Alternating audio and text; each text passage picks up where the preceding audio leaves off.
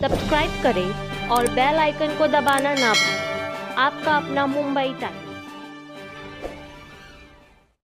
देखो, आपको तो मालूम है कि बंगाल में जो कार ये मेडिकल कॉलेज है, उसमें हमारी डॉक्टर थी, उसका रेप और मर्डर हो गया था। उसके बाद काफ़ी एजिटेशन हो गया बंगाल में भी, और एजिटेशन के बाद वो कोर्ट में भी सुओ मोटो केस लिया गया, और सुप्रीम कोर्ट के जज ने कहा था कि जो बंगाल गवर्नमेंट को कि कुछ कुछ अलग अलग कैसे सिक्योरिटी का अरेंजमेंट करना, क्या करना, वो सब डिटेल्स दिए थे। मगर अभी ऑलमोस्ट दो महीने के ऊपर हो गया, कुछ भी उन गवर्नमेंट ने कुछ भी वहाँ किया नहीं है। इसके लिए बंगाल के जो जूनियर डॉक्टर्स है, उन्होंने पहले कोर्ट के कहने से स्ट्राइक पीछे लिया, मगर उनको वापस स्ट्राइक पे जाना पड़ा और अभी गए 11 दिन से हमारे बच्चे लोग वहाँ फास्ट कर रहे हैं। और उसमें से अभी चार लोग, चार से पाँच लोग एडमिट भी हो गए क्योंकि उनकी बुरी होने लगी हेल्थ और इतने दिनों में बंगाल के जो वहाँ के मंत्री है या चीफ मिनिस्टर है, उन्होंने उनको मिलने की भी कोशिश की नहीं है। कल उन्होंने चीफ सेक्रेटरी ने वहाँ बुलाया था उनको, मगर और कुछ है इसके लिए कि आप वापस ले लो स्ट्राइक वापस ले लो, बाद में हम बात करते तो ये बोले कि अभी दो महीने से आप कुछ नहीं कर रहे, कुछ तो अश्योरेंस होना चाहिए। सेफ्टी जो डॉक्टर्स की है उधर की, वो सबसे इम्पोर्टेंट है। और उसके बाद दो महीने में कौन से भी हॉस्पिटल में, बंगाल में कुछ भी उन्होंने सेफ्टी के बारे में कुछ भी तय नहीं किया है। प्लस जो उनका शोषण होता था, जो मेडिकल स्टूडेंट्स है पोस्ट ग्रेजुएट स्टूडेंट्स है, उनके पास से पैसे लेते थे पास करने में पैसे लेते थे, वो भी उनका कंप्लेंट था। उसमें भी कुछ भी उन्होंने, कुछ कुछ प्रॉब्लम उन्होंने सॉल्व नहीं किया। इसके लिए ये जो है, वो सिंबॉलिक सब मेडिकल कॉलेजेस में, क्योंकि ये बेसिकली मेडिकल कॉलेज का ही प्रॉब्लम है, जहाँ सबसे ज़्यादा गर्दी होती है क्राउड आता है और प्रॉब्लम होता है।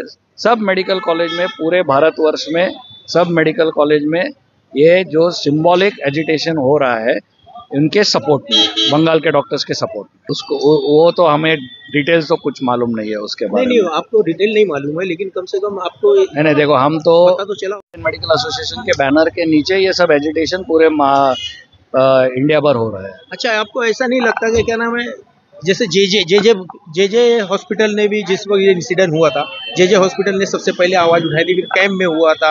बहुत सारे सरकारी हॉस्पिटल में डॉक्टरों ने हड़ताल किए थे। और काफ़ी लंबी तरीके से हड़ताल किए थे लंबे लंबा हड़ताल प्रोटेस्ट किए थे। अब लोग नायर वाले लोग लेट हो गए ऐसा कुछ नहीं लगता आपको? नहीं नहीं ये आज के में भी चालू है सायन में भी चालू है कुपर हॉस्पिटल में भी चालू है और पूरे महाराष्ट्र के सब गवर्नमेंट हॉस्पिटल्स में और मेडिकल कॉलेजेस में ये चालू है। ऐसे नहीं कि सिर्फ़ नायर कर रही है वहाँ भी सब जगह चालू है अभी। अच्छा पहले जो चल रहा था वो गवर्नमेंट हॉस्पिटल में था जैसे जे जे हो गया सेंट जॉर्ज हो गया वो सब हॉस्पिटल में था। अभी बीएमसी हॉस्पिटल में मतलब ये शुरू किए। हाँ तो सी देखो कैसे है हमारे जो यहाँ के डॉक्टर लोग हैं जो सीख रहे हैं जो पोस्ट ग्रेजुएशन कर रहे हैं सबका प्रॉब्लम सेम है। सिक्योरिटी सबसे क्योंकि क्या जान कोई खतरा रहता है तो कोई काम भी नहीं कर सकते हैं। इसके लिए ये सिंबॉलिक ऑल ओवर इंडिया अभी हो रहा है।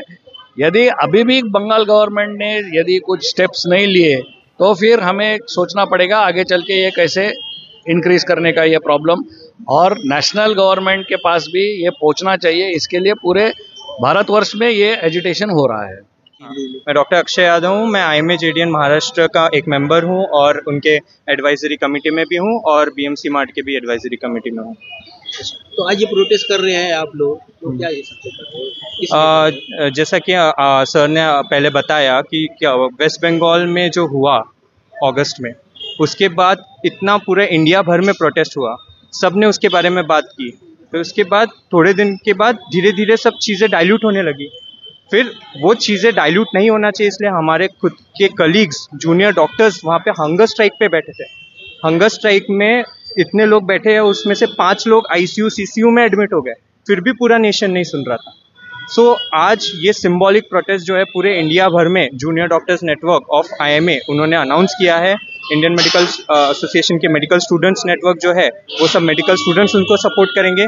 और ऑल एसोसिएशन एक मीटिंग लिया था जेडीएन ने। और उसमें डिसाइड हुआ कि सब एसोसिएशंस जूनियर डॉक्टर्स के इंटर्न्स के ये लोग भी इन सपोर्ट करेंगे आज के सिंबॉलिक हंगर स्ट्राइक को। हॉस्पिटल में भी ये यौन शोषण की वारदात हुई थी जो हाँ। तीन से चार लेडी डॉक्टर पहले तो एक ही लेडी डॉक्टर आई थी फिर उसके साथ में तीन चार हाँ, डॉक्टर होते और दिन का ट्रांसफ़र भी हो गया। इसके बारे में एक्चुअली इसके बारे में जैसा कि सर ने बोला हमें uh, मतलब ज़्यादा जानकारी नहीं है और उसके ऊपर ऑलरेडी इन्वेस्टिगेशन चल रहा है तो आई एम एन उसके ऊपर कुछ कमेंट अभी नहीं करेगा। बंगाल की पूरी जानकारी है? बंगाल की पूरी जानकारी है क्योंकि जेडीएन के अ, कुछ मेंबर्स बंगाल से है। शुभ्रांकर दत्ता जो है वो वहाँ फाइमा के जो प्रेसिडेंट है वो खुद और जेडीएन के एक्टिव लीडर वो खुद हंगर स्ट्राइक के साइड पे गए। हमारे आ, जो नेशनल आईएमए लीडर्स है जैसे आरवी अशोकन सर हमारे नेशनल प्रेसिडेंट वो खुद उन डॉक्टर से मिल के आए। आईएमए ने इस बात की जानकारी ली है और उन्हें पूरी आ, पूरा सपोर्ट दिया है वो डॉक्टर्स को जो हंगर स्ट्राइक पे बैठे हुए हैं। और उन्होंने हमें पूरा रिपोर्ट दिया है क्या हो रहा है क्यों हमें मतलब वहाँ पे जस्टिस कितना डिले हो रहा है ये सब चीज़ की जानकारी दी है इसलिए आज ये सिम्बॉलिक प्रोटेस्ट आई एम ने अनाउंस किया है।